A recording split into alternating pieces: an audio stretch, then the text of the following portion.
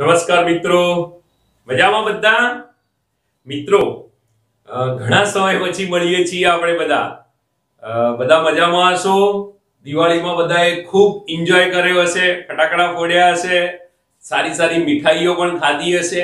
હા, એક વાત છે કે તમને બધાને જોઈને એવું લાગે છે કે કોરોના સામે બી તમે લોકો લડવા માટે તૈયાર છો.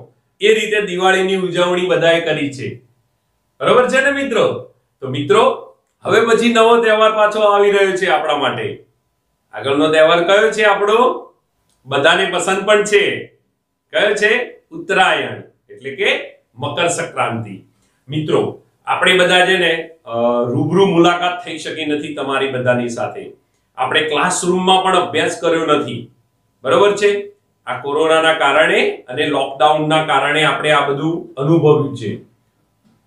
પણ આપણે આપણો અભ્યાસ કરવાનો ચૂક્યા નથી. અને સાચું કહું ને તો મિત્રો, ઘરે પણ તમે અભ્યાસ કરજો. કારણ કે આ ધોરણ ચારનું જે ગણિતનો અભ્યાસક્રમ છે, એ તમારા માટે ખૂબ જ ઉપયોગી બનશે. ઓકે મિત્રો? તો મિત્રો, હવે આપણે પણ આપણા બીજા સત્રમાં અભ્યાસની શરૂઆત કરી દઈએ છીએ. આજે આપણે નવું પ્રકરણ સ્ટાર્ટ કરીએ છીએ, જેનું નામ છે જગ અને મગ. જગ એટલે તમારી ઘરની અંદર જગ હશે જ. પાણી આપવા માટે જગ યુઝ કરો છો ને તમે, તો એ જગ. બરોબર છે ને? અત્યારે તો જો, અત્યારે તો છે ને વાડીઓની અંદર આપણે જમણવારમાં જઈએ ને, તો બી હવે તો જગ દેખાતા નથી. અત્યારે તો શું હોય, પેલા પાણીના વોટર જગ જે કહીએ ને મિનરલ્સ પાણીના એ મૂકેલા છે. પણ એકચ્યુઅલી આપણે એને જગ કહીએ છીએ, પણ એ જગ નથી. એકચ્યુઅલી કેરબા છે. પાણીના કેરબા છે. જગ એટલે મિત્રો, તમે આકૃતિમાં જુઓ ને તો તમને ખબર પડે, આને જગ કહેવાય જગ એટલે એનો આકાર એ રીતનો હોય કે જેનામાં પાણી ભરી અને તમે પાણી આપી શકો. ગ્લાસની અંદર પાણી આપી શકો, એ જગ કહેવાય. અને પહેલાના જમાનામાં જ્યારે જમણવાર થતા ને લગ્નના કે કોઈ પ્રસંગના, તો લોકો નીચે બેસીને જમતા હતા બધા. અને નીચે બેસીને જમતા ને મિત્રો, એટલે બધાને છે ને પંગતમાં બેસાડવામાં આવે. અને પછી બધા પીરસવાનું શરૂ કરે લાઈનસર બધા પીરસવા માટે આવે ને, એ વખતે જે પાણી આપે છે ને, એ જગમાં લઈને આવે પાણી. અને બધાને પાણી પીરસતા હોય છે. એટલે અહીંયા આગળ કહેવાય છે જગ. તમારી ઘરની અંદર પણ સ્ટીલનો જગ હશે. બરોબર છે? અત્યારે તો પ્લાસ્ટિકનું ચલણ થઈ ગયું છે સૌથી વધુ. પણ પ્લાસ્ટિકનો જેમ બને એમ ઓછો ઉપયોગ કરવો જરૂરી છે બધાએ. કારણ કે આપણે પ્લાસ્ટિકને છે ને નાશ કરી શકતા નથી. ઓકે? ચલો, આગળ આપણે વાત કરીએ મગ. મગ એટલે? મગ એટલે તમારો કપ, જે તમે કહો છો કપ. કપને આપણે અંગ્રેજીમાં મગ કહેતા હોઈએ છીએ. અંગ્રેજીની અંદર એને મગ કહેવાય છે. કપ એટલે, આમ જોવા જઈએ તો મિત્રો જુઓ, કપ એટલે નાનકડો ચા માટે વપરાય છે ને એ કપ છે. અને એના કરતા થોડો મોટો એને કહેવાય મગ. ઓકે? તો આપણા પ્રકરણનું નામ છે જગ અને મગ. તમને આના ઉપરથી ખબર પડી ગઈ હશે કે આપણે શું શીખવાનું છે આ અભ્યાસક્રમમાં. આપણે આ પ્રકરણની અંદર શું શીખવાનું છે? તો આપણે શીખવાનું છે જગ અને મગ એ શાના માટે વપરાય? તો આપણે જાણીએ છીએ મિત્રો કે જગ અને મગ એ પ્રવાહી માટે વપરાય છે. એટલે કે એની અંદર શું ભરી શકાય? જગની અંદર ગોળ ભરી શકાય? ના ભરી શકાય. ઘઉં ભરી શકાય, ના ભરી શકાય. તો જગની અંદર શું ભરી શકાય? તો જગની અંદર ભરી શકાય પાણી, દૂધ, છાશ, લીંબુ શરબત. બરાબર છે? પછી તમારો રસનાનો શરબત. આ બધું જગની અંદર ભરી શકાય. એ જ રીતે મગની અંદર પણ આપણે શું કરીએ છીએ? મગની અંદર પણ આપણે ભરીએ જ છીએ ને. ચા, કોફી, દૂધ. બરાબર છે? તો મગની અંદર એ ભરી શકાય. એનો મતલબ થયો મિત્રો કે આપણે આ પ્રકરણનો જે અભ્યાસ કરવા જઈ રહ્યા છીએ, એ પ્રકરણ પ્રવાહી વિશે છે. એટલે કે આ પ્રકરણની અંદર તમે શીખશો કે આપણે પ્રવાહીને કેવી રીતે માપી શકાય, એને માપવા માટેના માપના એકમો કેવા છે. પછી એ પ્રવાહીને આપણે અલગ અલગ વસ્તુની અંદર ભરીએ છીએ કે લઈએ છીએ, તો એ વસ્તુની અંદર કેટલું પ્રવાહી આવી શકે એનો અંદાજ લગાવવાનો હોય છે. મિત્રો અને કમ્પેરિઝન કરવાની હોય છે કે આમાં વધારે ભરી શકાય, આમાં ઓછું ભરી શકાય. ઓકે તો આપણે શરૂ કરીએ આપણું પ્રકરણ. આના વિશેનું થોડા એક્ઝામ્પલ ને બધું આપણે પછીથી જોઈશું. પહેલા આપણે પાઠ્યપુસ્તકનું પ્રકરણની શરૂઆત કરીએ છીએ. ઓકે મિત્રો? તો મિત્રો વાત છે બંની અને બંનો પોતાની લગ્ન તિથિ ઉજવે છે.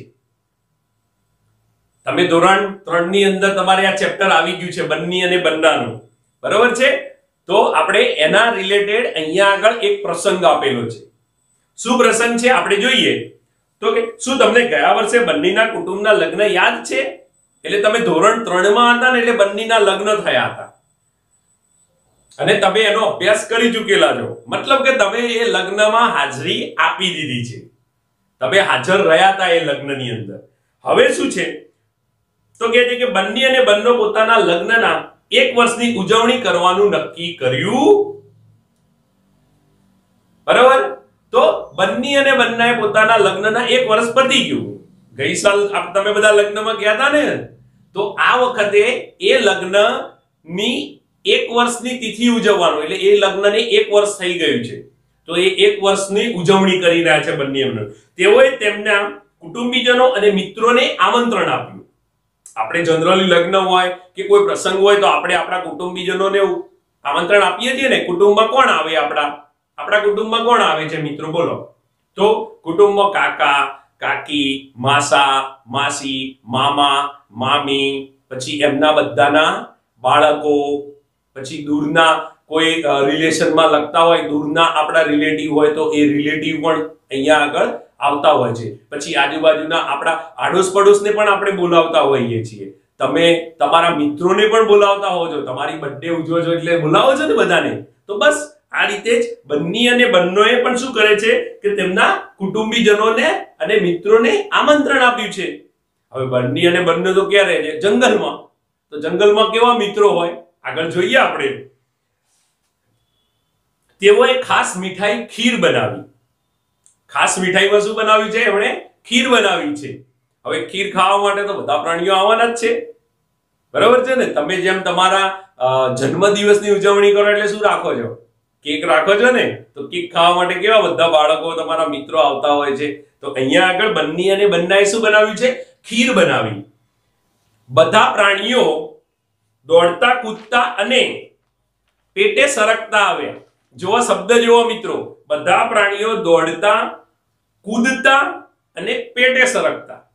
તો અહીંયા દોડતા કોણ કોણ આવી શકે? તમે વિચારો, જંગલમાંથી દોડતા દોડતા પ્રાણીઓ કોણ કોણ આવી શકે? તો જેટલાના ચાર પગ છે ને એ બધા દોડતા દોડતા આવ્યા. જેટલા પ્રાણીઓના ચાર પગ છે એ બધા દોડતા દોડતા આવ્યા. પછી જેટલાના બે પગ છે, પછી ઘણી વખત એવું પણ બને કે ચાર પગવાળા કૂદકા પણ મારતા હોય છે. બરોબર છે? એટલે ચાર પગવાળામાં કોણ આવી શકે? ગાય, ભેંસ, ગધેડો, જીરાફ, જીબ્રા, વાઘ, હાથી, સિંહ, આ બધા ચાર ચાર પગવાળા છે. ઘોડો, આ બધા ચાર પગવાળા. એ ચાર પગવાળા બધા દોડતા દોડતા આવે. કૂદકા કોણ મારે? બોલો. કૂદકા કોણ મારે? તો કૂદકા મારતા મારતા કોણ આવ્યા છે એક તો તમે જ. તમે મારો છો ને કૂદકા? ના. ના, નહીં ને. તો કૂદકા પણ મારે. તો વાંદરો કૂદકા મારે. પછી બીજું કોણ મારે? દેડકા કૂદકા મારે. બરોબર છે ને? તો આવા બધા પ્રાણીઓ કૂદકા મારીને આવે અને પેટે સરકતા. તો પેટે સરકતા કોણ આવે? સાપ. સાપ સરકતું જ આવે ને? સાપ પેટે સરકતો આવે. તો ઘણા બધા પ્રાણીઓ એવા હોય છે કે જે પેટે સરકતા હોય છે. તો એ બધા પેટે સરકતા પ્રાણીઓ આવ્યા.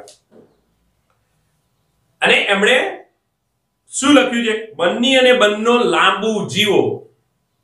એક એડિંગ વાળું છે, તમે બુકમાં જુઓ. બંની અને બંનો લાંબુ જીવો. લાંબુ જીવશી તો જ દર વર્ષે આપણને આ બધાને મળશે ને? દર વર્ષે લગ્ન તિથિ ઉજવશે અને દર વખતે પછી ખીર બનાવશે અને મજા મજા આવશે. એટલે બંની અને બંનો લાંબુ જીવો. હાથી પચાસ લીટર ખી પી રહ્યો છે. હાથી કેટલી પીવે છે? પચાસ લીટર ઘી આપણે તો પચાસ લીટરમાં કેટલા બધા પણ પી પી શકે આપણે બધા તો. તો હાથી એકલો જ પચાસ લીટર ઘી પી રહ્યો હતો. અને પછી પાછી બીજી લે છે અલગથી. ઓકે? પછી આપી છે, જીરાફ ખાલી જગ્યા લીટર પી રહ્યું છે. તો તમારે ત્યાં આગળ આન્સર લખવાનો છે. તો આપણે જાણીએ છીએ કે હાથીનું પેટ મોટું હોય, તો એને વધારે ખીર જોઈએ. જીરાફ. તો જીરાફનું કેવું હોય?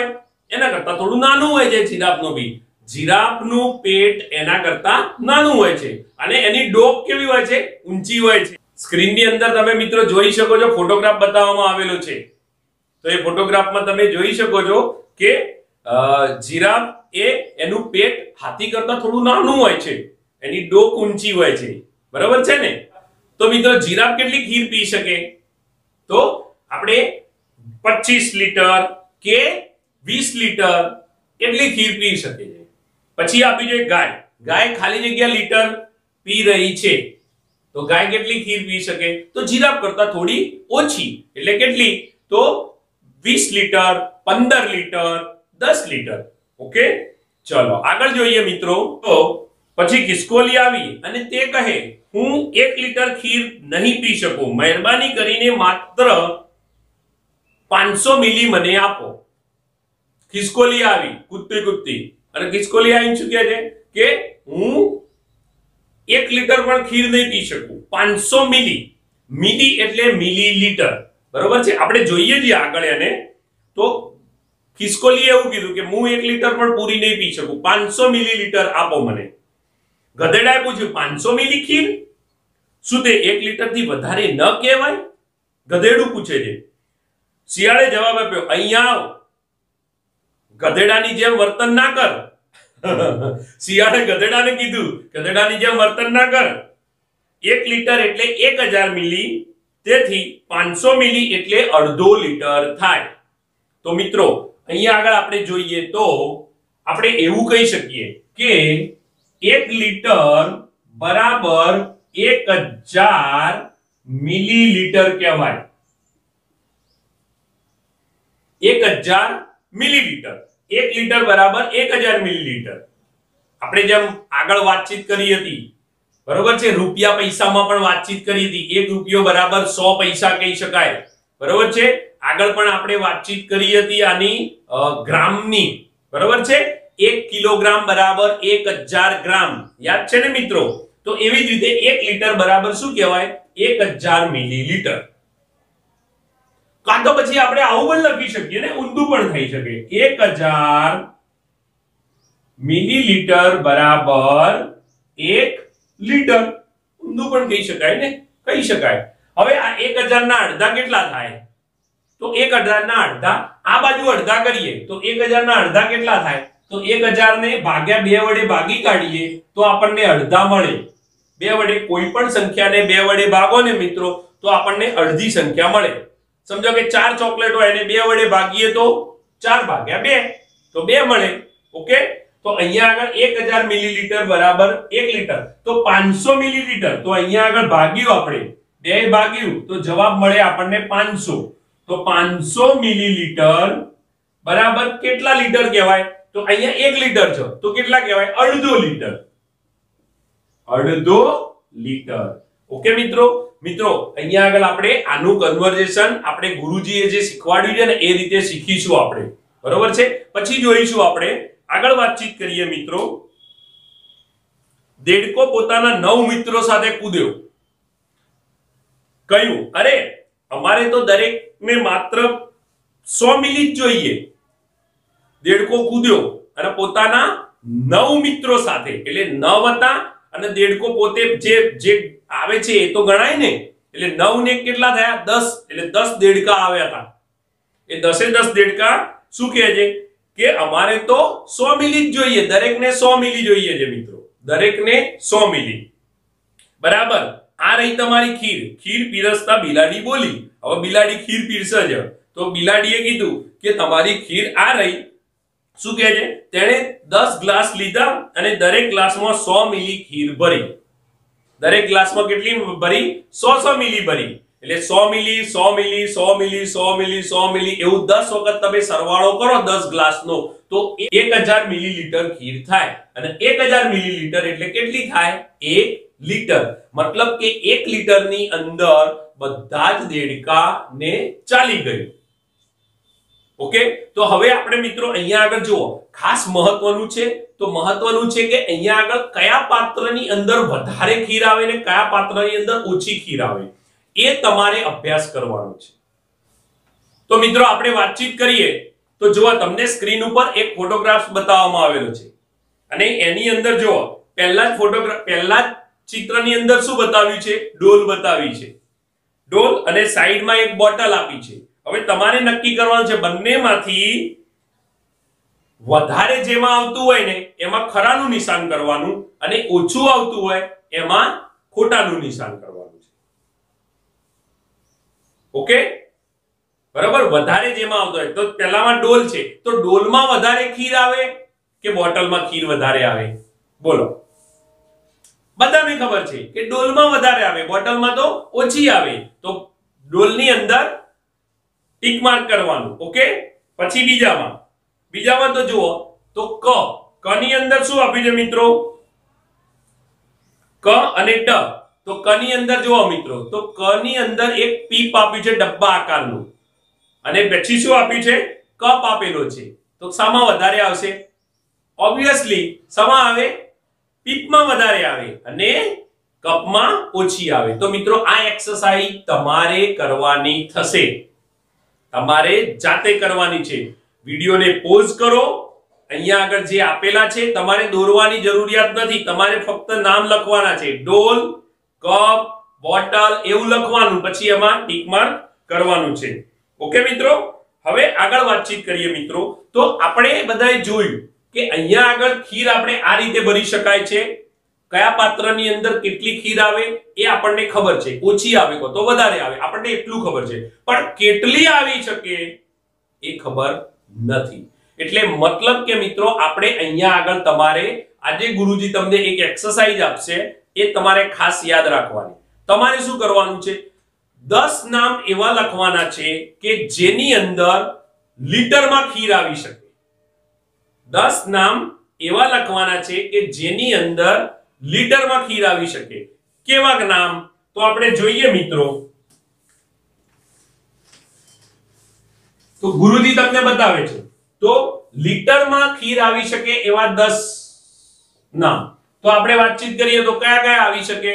તો આપણે વાતચીત કરી તો ડોલ, પછી મોટી તપેલી, મોટું તપેલું તપેલું, પછી આપણે કહીએ તો ટોકર આપણે જે ટોકરનો યુઝ કરીએ છીએ ને, એ ટોકર, પછી તમે પાણી ભરવા માટે પેલો કેરબાનો યુઝ કરો છો, બરોબર છે ને? તો પાણીનો પાણીનો કેરબો, બરોબર છે? આવા દસ નામ તમારે લખવાના છે. તમારા ઘરમાં જ સાધનો પડ્યા છે.